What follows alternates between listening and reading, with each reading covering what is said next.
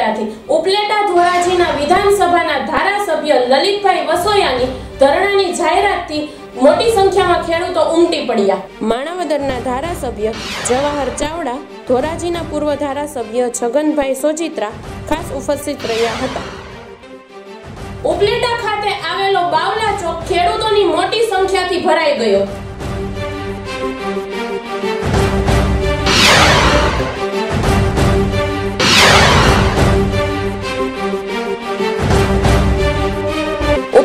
ધોરાજી અને માણાવદર તાલુકાના ખેડૂતો મોટી સંખ્યામાં જોડાયા હતા.